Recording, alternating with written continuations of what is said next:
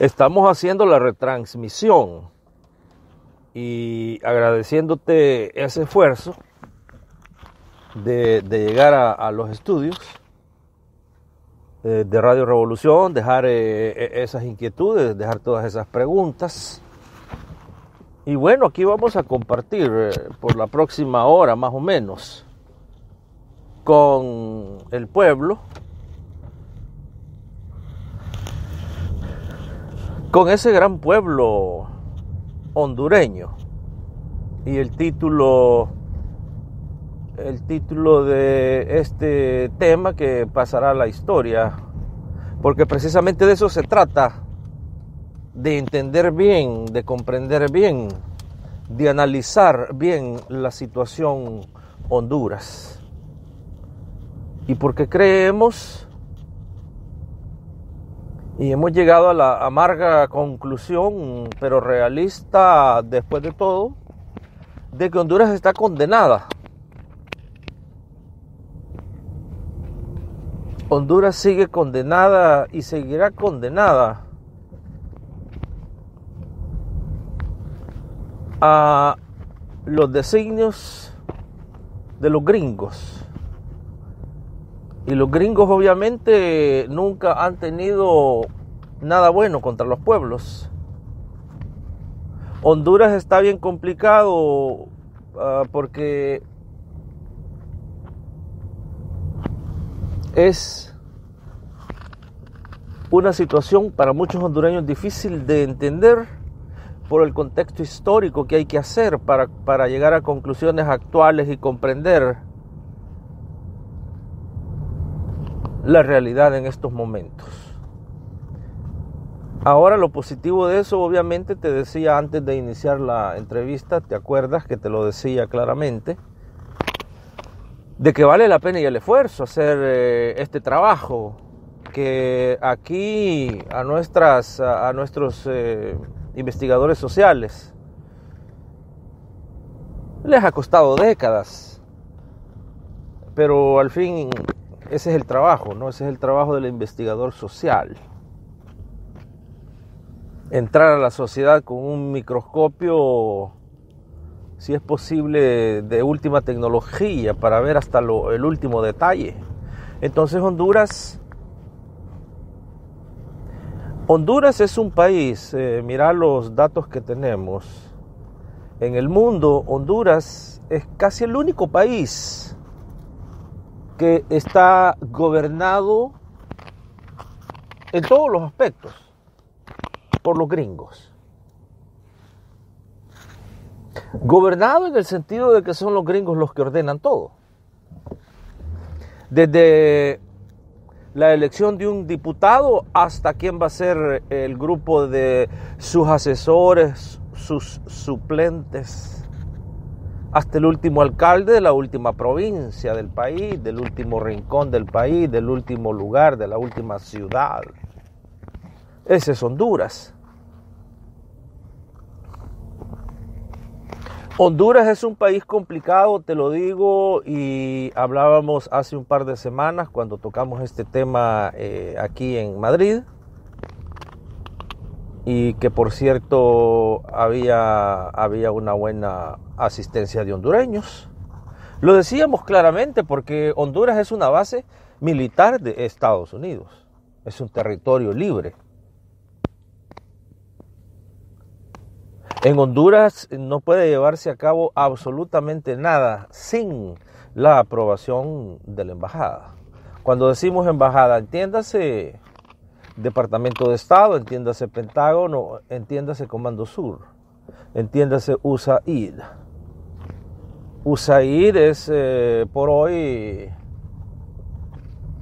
eh, la agencia, la agencia que administra. Como aquellos administradores eh, allá por los siglos tantos, 18, 19, 17 que mandaba, por ejemplo, el imperio inglés y que llegaban a, sus colonias, entre comillas, a administrarlas. Y tenían a los esclavos, o sea, los nacionales de esos países, trabajando para ellos en condiciones, obviamente, de esclavitud. Honduras eh, Honduras es aún peor que eso. Porque Honduras, para empezar, no hay trabajo. Y el hecho de que no haya trabajo es, es una política. Muchos dicen que el gobierno no está haciendo nada, al contrario. El hecho de que no hay trabajo es una política de gobierno. Y es una política bien diseñada y que a, a los gringos les da efecto. Les da efecto en todas sus colonias. Ahora, Honduras ya no llega, pero ni a, lo de Banana República. Porque ya ni la banana le quieren comprar.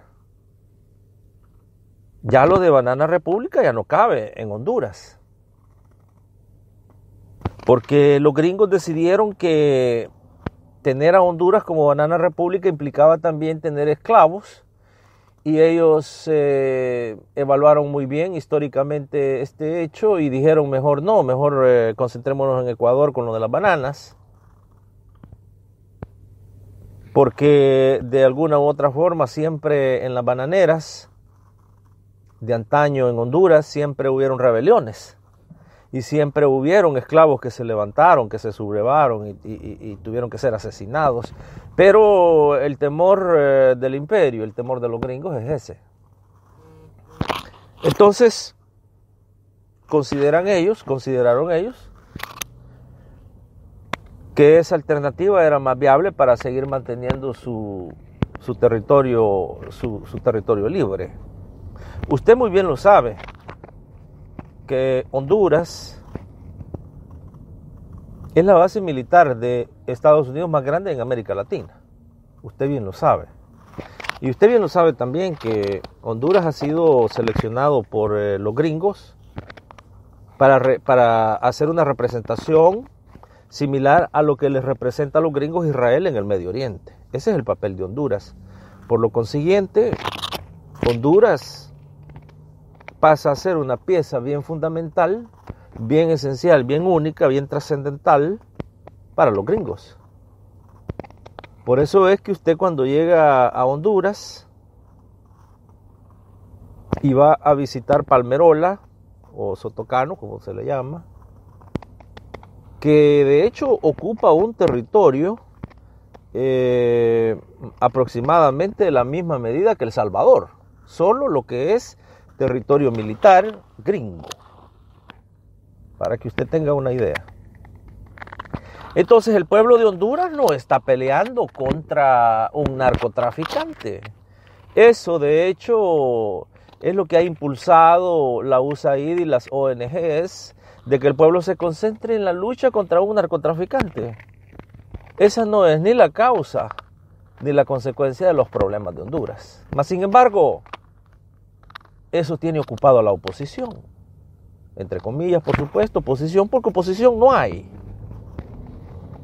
En Honduras, cuando les decimos que es el país más intervenido por los gringos, increíblemente sobrepasando a la intervención gringa en Haití, porque Honduras tiene el número mayor de organizaciones no gubernamentales organizaciones no gubernamentales que dependen directamente del Pentágono, del Departamento de Estado, de la Embajada. Organizaciones no gubernamentales que son, si usted ve la estructura, todas vienen de una raíz que se llama USAID. Y la USAID no es más que el instrumento político que utiliza la Agencia Central de Inteligencia para solidificar los objetivos específicos estratégicos de la política exterior de Estados Unidos en la región en donde se encuentra, en este caso en Honduras la mayoría de la oposición para que haya una idea.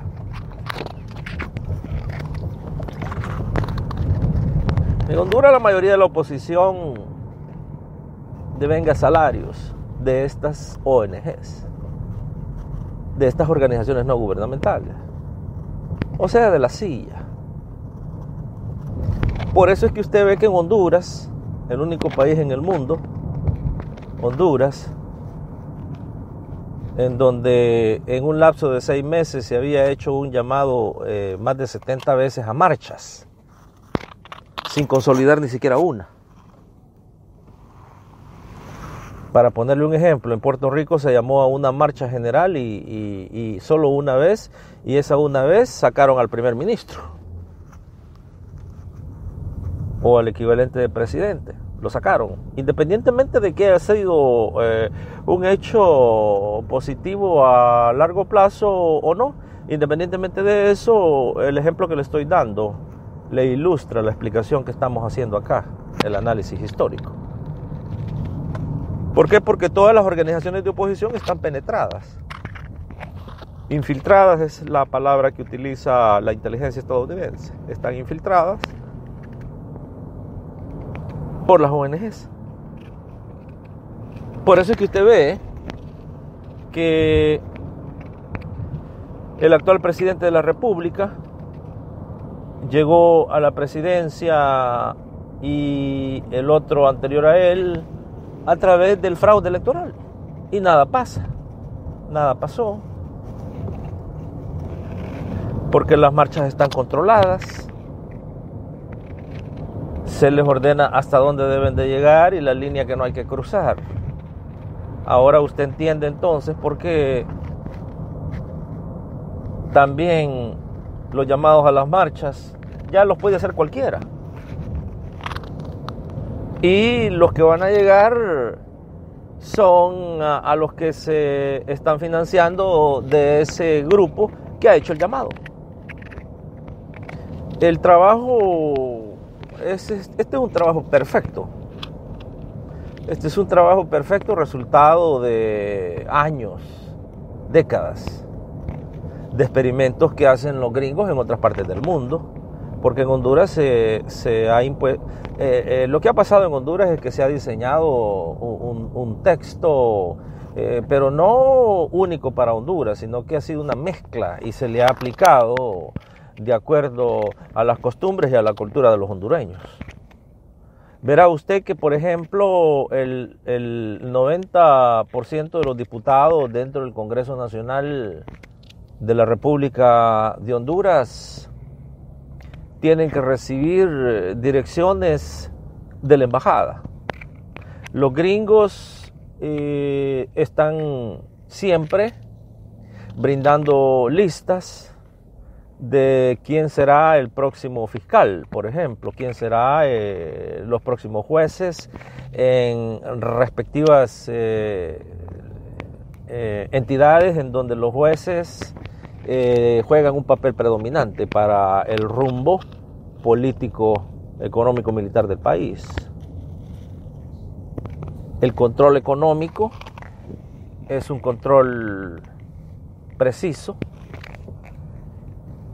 y es un control perfecto del rumbo económico del país a tal grado que ya hay territorios dentro de Honduras que no se aplica la ley hondureña porque ya se les entregó a los grandes consorcios internacionales aprobados por la embajada. No hay ningún consorcio internacional ahorita en Honduras. Los mismos hondureños que conocen el caso pueden pueden darle fe de esto, pero ningún consorcio internacional puede entrar en Honduras, ni mucho menos tener territorio que no tenga la aprobación de los gringos. Y de hecho, en muchos casos, hay un requisito que tienen que llenar, que es el requisito de que tienen que contratar eh, todos los servicios de la inteligencia que estén conectados con la inteligencia gringa. Eh, Honduras está bajo, una, em, bajo un estricto control. Honduras está controlado. Honduras eh, seguirá con una administración política en las próximas elecciones eh, que, em, que, que esté seleccionada, aceptada por los gringos. Nada se puede hacer afuera de este esquema. Usted tiene, por ejemplo, solamente vea, inclusive, entre comillas, los opositores más feroces.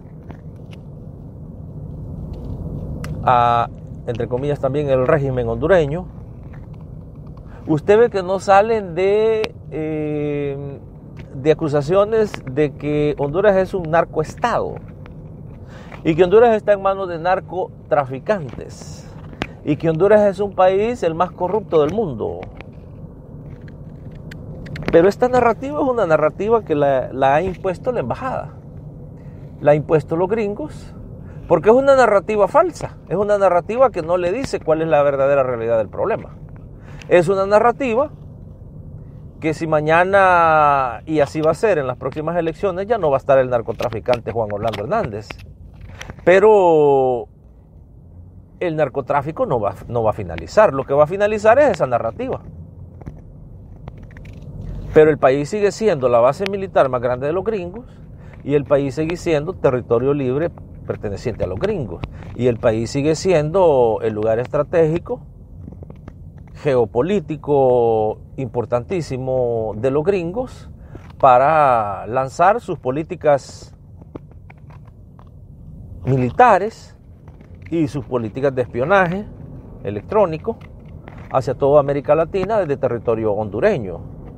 Porque ahora ya lo consolidaron. Los gringos han consolidado ahora Honduras y se puede decir que Honduras es El Salvador también y Guatemala.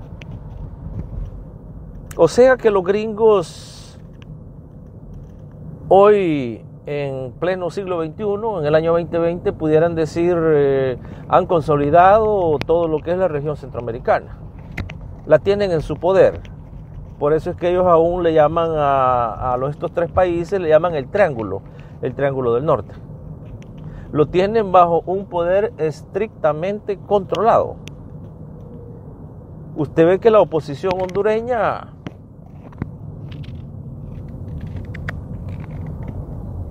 entre comillas siempre, los elementos precisamente que ya tiene Estados Unidos para las próximas elecciones, y usted se preguntará después, ¿y por qué? Esos elementos están viajando a Washington constantemente. Solo usted necesita revisar. Solo revise y verá usted que la oposición, nuevamente, entre comillas, constantemente está visitando a Washington. Y constantemente usted los ve acá en hay un libre tráfico eh, interesante ver cómo de la embajada de los gringos cómo entran y salen los miembros de la oposición. La oposición hondureña está manufacturada, fabricada y financiada por los gringos. Por eso es que la narrativa de la oposición es la narrativa que viene de los gringos. Y de ahí que no salen de decir que Juan Orlando Hernández es narcotraficante. Mas sin embargo, ellos sabrán muy bien, los hondureños, que el narcotráfico lleva décadas y seguirá con décadas más en el futuro. Es que ahora, por la narrativa conveniente a los intereses de la política exterior de los Estados Unidos, es que pasa a formar parte del discurso diario, cotidiano, de la oposición. Pero de igual manera, Juan Orlando Hernández tiene Tiene su puesto ya ganado en el Salón de la Fama Internacional de los las figuras políticas entregadas a los gringos y ya tiene ganada la protección de los gringos. Pudiera ser que se haya que se maneje alguna situación que siempre va a ser parte de esa doctrina política en Honduras y que pudiera ser que después de las elecciones se invente otra narrativa, otro discurso político, en donde inclusive se pudiera hablar de judicialización a, los, algunos miembros de, la, de la estructura política dominante en Honduras. Pudiera ser. Pero de fondo ya los gringos ya tienen inclusive a sus, a sus, eh, a sus figuras, a sus nombres, que serán los próximos líderes de Honduras. Y están viajando aquí a Honduras, viajan constantemente, ya ellos lo saben, ya se están preparando. Usted ve la gran eh, confusión que le tiran al pueblo de Honduras, que hoy lo llaman a una marcha, mañana lo llaman a otra marcha. Hoy un sector hace un llamado, la otra semana el otro sector hace un llamado a que no hagan marchas. Hoy sale otro partido político, mañana salen dos. En las elecciones eh, del 2021 se va a aplicar eh, lo que le aplicaron a Guatemala los gringos en donde cuando van a votar parece un abecedario esa cosa con, docenas de partidos políticos, que ninguno va a tener el gran apoyo de la mayoría, pero por eh, el mismo diseño de las leyes electorales, que así lo han ordenado los gringos, siempre va a quedar eh, el personaje que los gringos ya eligieron. Como Yamatei en Guatemala, el mismo, el mismo caso. Yamatei en Guatemala no gobierna. A Yamatei lo gobiernan. Yamatei simple y sencillamente lo que está haciendo es igualmente lo que está haciendo Juan Orlando Hernández en Honduras. De igual manera Nayib Bukele en El Salvador. Verá usted y analícelo muy bien, porque estos tres presidentes nunca, porque tuvieron la orden obviamente de los gringos, nunca han cuestionado el sistema económico impuesto en estos países, que es la verdadera raíz de los problemas. Nunca lo han cuestionado ni lo van a cuestionar. Por eso es que usted ve que todo cambia en el discurso político, pero nada cambia en la realidad de territorio. Los guatemaltecos siguen siendo hoy más pobres que ayer y los salvadoreños siguen siendo más inseguros que ayer y en Honduras siguen asesinando a más hondureños que ayer. De ahí que los tres países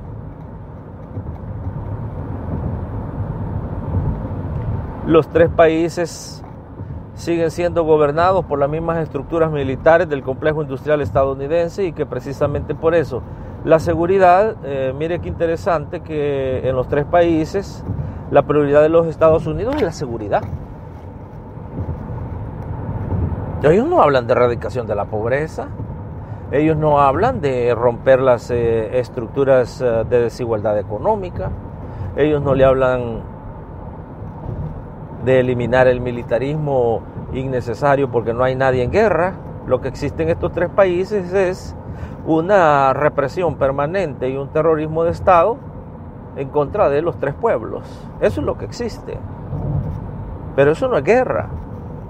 Más sin embargo, la parte de la política exterior de Estados Unidos para estos tres países es una política militar ahora usted está entendiendo por qué Honduras no va a, nada. Hay programas en Honduras que salen todos los días y que se dedican solamente a decir que el problema de Honduras es el narcotraficante Juan Orlando Hernández.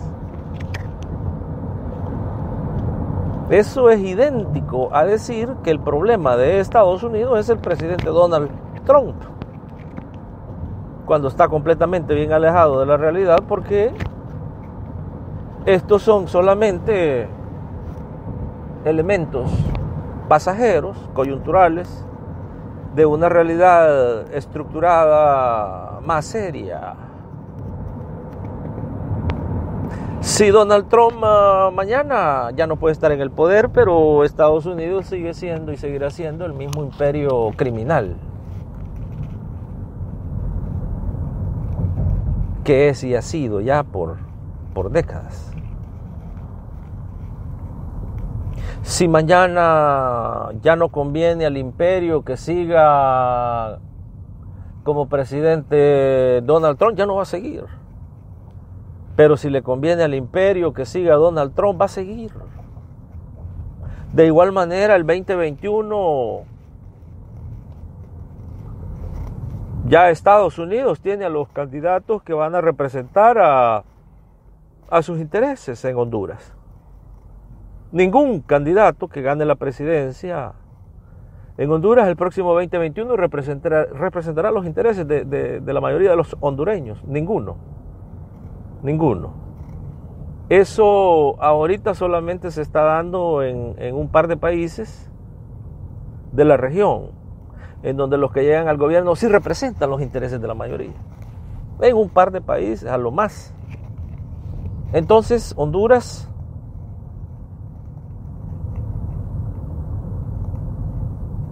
Honduras, como México, como lo decía aquel gran personaje, que la desgracia de México es estar demasiado cerca de los gringos.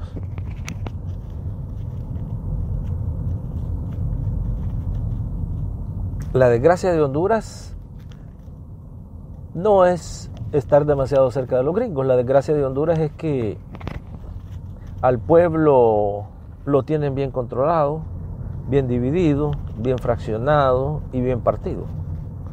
A tal grado que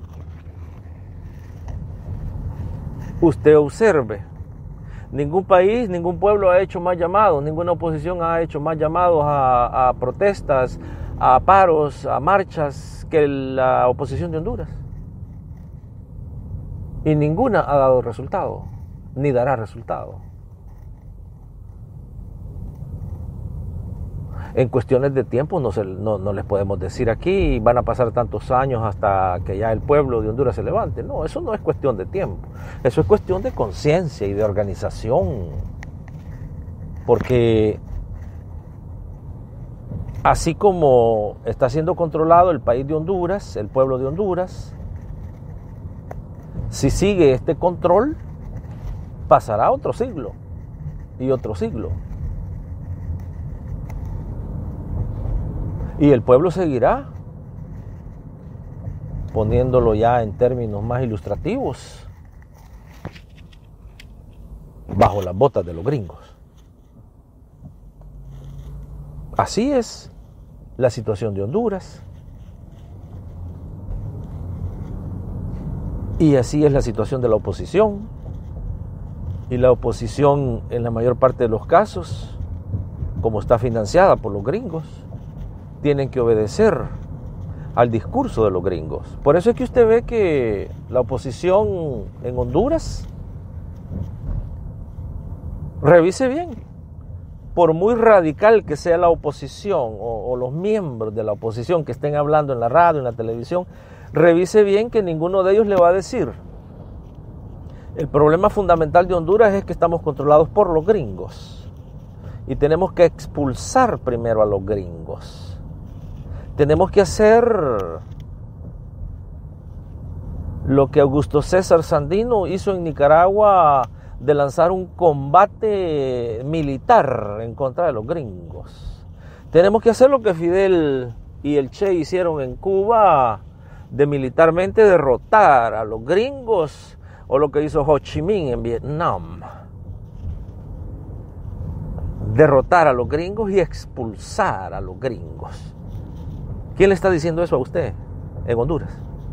Dígame. ¿Qué miembro de la oposición le está diciendo eso? El miembro de la oposición que empiece a decirle eso a ese miembro o a ese grupo o a ese quien sea, usted tiene que apoyarlo incondicionalmente. Obviamente eso no se va a dar a saber hasta cuándo, pero puede hacer que se dé.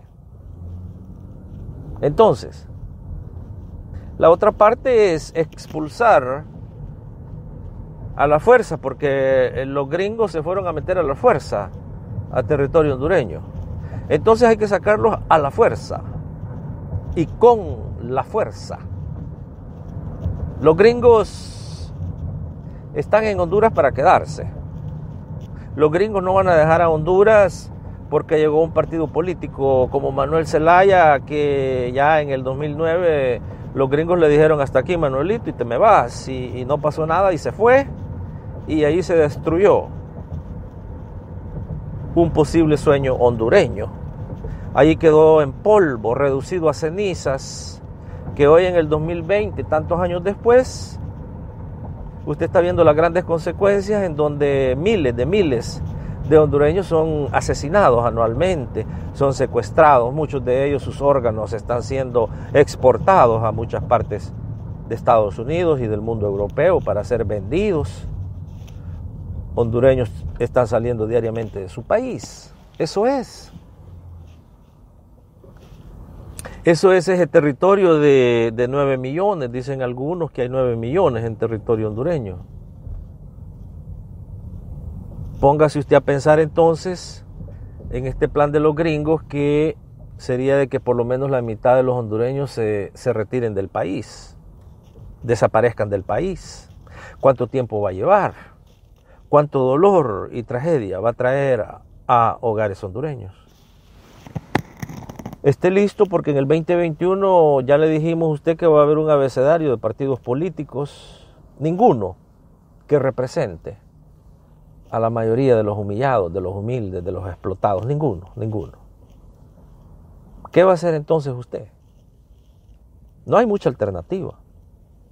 Quizás, tal vez, tal vez pudiera usted aplicar la alternativa salvadoreña en las últimas elecciones presidenciales, en donde vieron ellos que no tenían representantes máximos, vieron ellos que no habían representantes puros del pueblo salvadoreño y decidieron no ir a votar.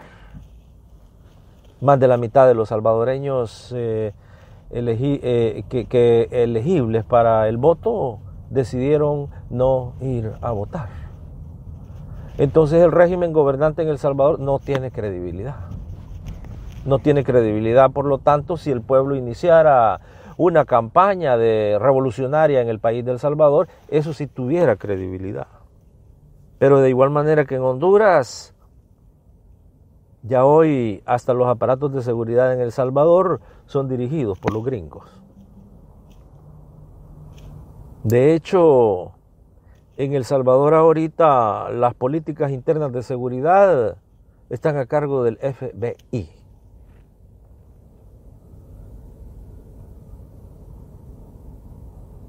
Es una perfección el caso salvadoreño. Es una perfección porque las políticas internas de seguridad están a cargo del FBI y el embajador de Estados Unidos en El Salvador es un agente de la Agencia Central de Inteligencia. Y en Guatemala, el presidente de la República de Guatemala es un agente de la Agencia Central de Inteligencia. Entonces, la batalla es contra quién, la guerra es contra quién, no es contra Juan Orlando Hernández. Pero se creó un eslogan con la aprobación de los gringos que dice fuera Jo. Pero fuera Jo es un eslogan no solamente falso, es vacío y es peligroso y es condenable. Porque fuera Jo, inclusive si se llevara a cabo el fuera Jo, no va a resolver ningún problema en Honduras. Porque para resolver los problemas de Honduras el eslogan tendría que ser fuera los gringos, fuera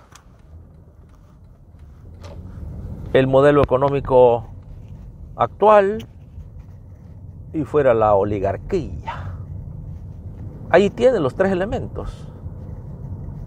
Pero dígame usted entonces, fuera Jo, va a salir Jo, pero va a entrar otro Jo. Y nuevamente otros 20 años de combate, de de terrorismo de Estado. Pero mientras tanto se están perdiendo generaciones y generaciones más. ¿Qué es exactamente el plan gringo? Y que es un plan a perfección independientemente de lo que diga quien diga lo que digan. Porque es un plan que les ha, ha funcionado a la perfección. Nadie cuestiona. Cuando usted ha oído la posición hondureña cuestionando las bases militares gringas en Honduras, ¿cuánto, cuando usted ha oído a la posición hondureña, sea quien sea, por muy a la izquierda que se denominen que son, que eso no existe en Honduras, ¿cuándo los ha oído usted decir que desmantelemos las bases militares de Honduras y que saquemos a los gringos? Gringo, go home, yankee, go home. Eso no lo ha visto ni lo verá en Honduras. Lo va a ver a saber hasta cuándo, hasta que llegue una generación nueva de una verdadera oposición que va a tomar, quién sabe qué es lo que va a tomar para que se llegue a eso.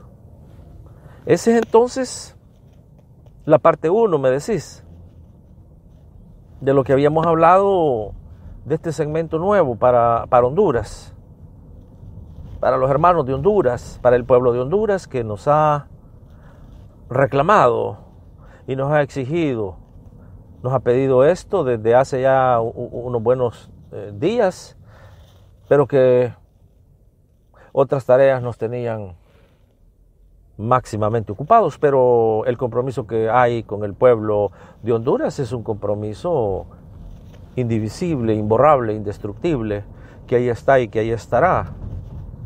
Y por eso es que nos hemos tomado este tiempo bastante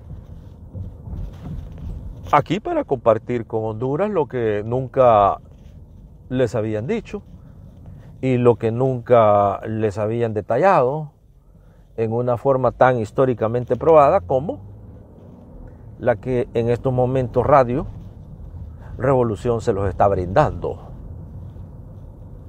Ya entonces para ese gran pueblo, entendemos que están reproduciendo ya este programa en todos los eh, radios eh, de la comunidad a lo largo y ancho de ese gran territorio de Francisco Morazán.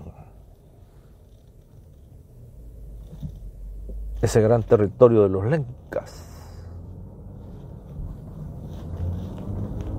Ese gran territorio de los Lempiras. Radio Revolución, estén atentos al segmento de la parte 2.